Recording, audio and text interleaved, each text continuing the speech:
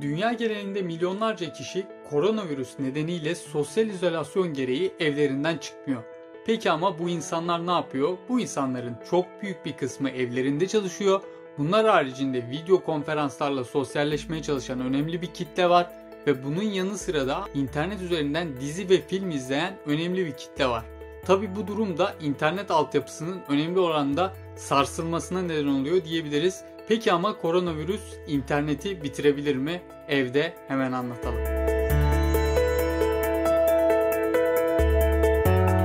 Öncelikle şirketlerin yaptıklarından bahsedelim. İlk etapta bildiğiniz gibi Netflix, Amazon Prime ve benzer servisler, YouTube gibi servisler video çözünürlüklerini düşürme kararı aldı. Bunun sebebi de tabii ki video içeriklerinin çözünürlüğünün düşürülmesiyle birlikte internet altyapısının rahatlatılıyor olması. Çünkü aslında bu şirketler bahsettiğimiz platforma internette çok büyük bir e, video yükü, video trafiğini ele geçirmiş durumdalar. Dolayısıyla da internet trafiğini ele geçiren bu şirketlerin biraz daha çözünürlüğü düşürmesiyle birlikte internet hızlarında artış gözüküyor diyebiliriz. Bu da tabii ki evden çalışma sürecinde ya da şu andaki sosyal izolasyon sürecinde evde olan insanların interneti daha rahat kullanarak işlemlerini gerçekleştirmesini sağlıyor.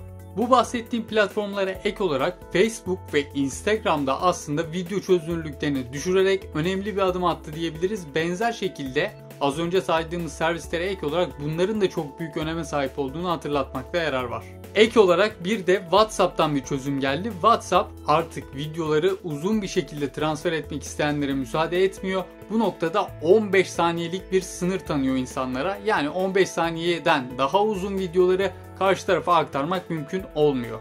Peki ama bu video çözünürlüğünü düşürme, video içeriklerinin sınırlandırılmasının sebebi ne? Az önce de bahsettiğimiz gibi aslında internet trafiğinin çok büyük bir kısmını video içerikleri sağlıyor diyebiliriz ve tabii ki bu doğrultuda da internet hızlarının düşmesine de neden oluyor. Yapılan araştırmalar gösteriyor ki şu anda ekranda görmüş olduğunuz 6 şirket aslında internet trafiğinin %43'lük dilimini sömürüyor diyebiliriz. Bu noktada aslında alınan önlemlerin ne kadar doğru olduğu bir kez daha anlaşılabiliyor. Tabi bu noktada yalnızca bu şirketler önlem almıyor. Buna ek olarak operatörlerin de önemli çözümleri var. Özellikle dünya genelinde hizmet veren birçok farklı operatör veri sınırları ile alakalı önemli yeni paketlerini duyurmaya başladı. Aynı zamanda arama konusunda da sınırlamaları ortadan kaldırıyorlar. Yani isteyen herkes birbiriyle bu dönemde ücretsiz bir şekilde iletişim kurabilir hale geliyor dünya genelinde.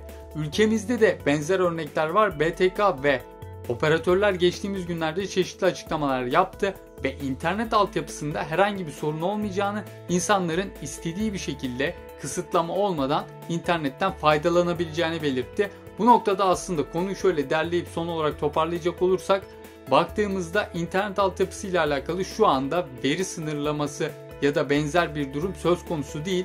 Yani koronavirüs interneti birazcık sekteye uğratsa ve hızları düşürse de aslında bitiremeyecek gibi gözüküyor. Önümüzdeki günlerde detayları paylaşmaya devam edeceğiz. Görüşmek üzere.